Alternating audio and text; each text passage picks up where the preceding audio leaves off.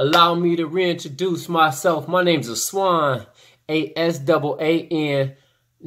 I'm just fucking with y'all. Uh, what's up, young world? Uh, I am Aswan. For those that know me, well, you know. And for those that don't, I am random as fuck. And for that reason, I decided to start what I call Random Wednesdays. So I hope you guys tune in. I will be posting a video and going live every Wednesday. Uh, and basically, I'm going to be talking about all types of stuff, covering everything from entertainment to sports. Um, I'm going to be talking about uh, inspiration, uh, doing Q&As. Uh, I'm going to have special guests. I mean, like, I'm going to have the word of the day. And basically, we're going to start with that. So the word of the day is shit. Ah, the shit. The first person who comments and tell me where that's from, you win a free headshot. But you have to be in Los Angeles or somewhere close. The definition of shit, besides feces, is an exclamation of disgust, anger, or annoyance. Ain't that some shit?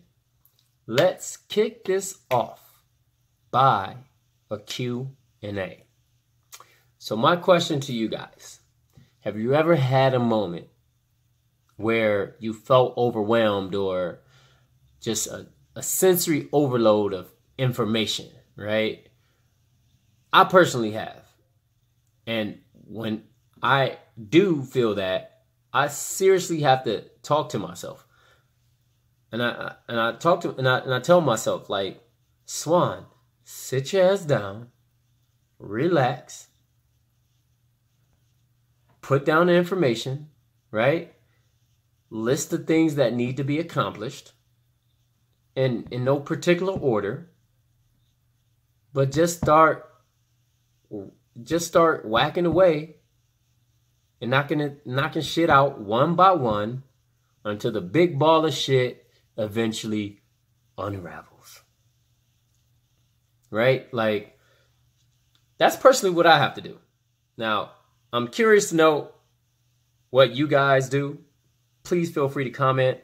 I'm sure everyone would like to hear this. Uh, and list and tell us all what you like. Personally, I want you to tell us what moment in your life did you feel just overloaded and felt like like you didn't know what the fuck to do, right? And then tell us what you did to accomplish that shit, to eventually get over the shit that you was feeling. Right? If you aren't already doing so, please follow me on Instagram at Aswan Harris, and that is A S W A N H A R R I S. My Twitter is Aswan Harris underscore. Cause some fucker took my name. Who the fuck does that?